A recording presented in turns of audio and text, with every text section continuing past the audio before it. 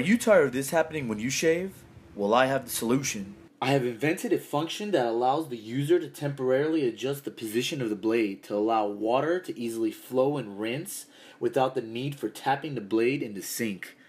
This also contributes to a cleaner shave since the blade is not in contact with bacteria from the sink.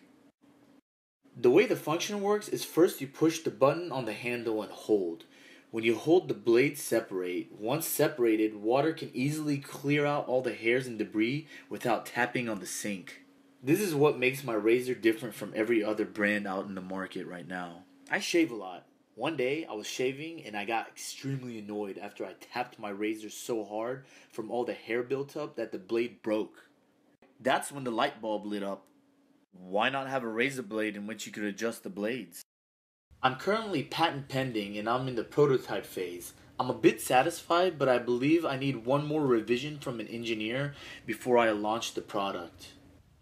Funding is going to go towards better engineering of the product. Once I get the green light, then the funds will go towards production and inventory. Goodbye, prehistoric shavers. Hello, Bauz razors.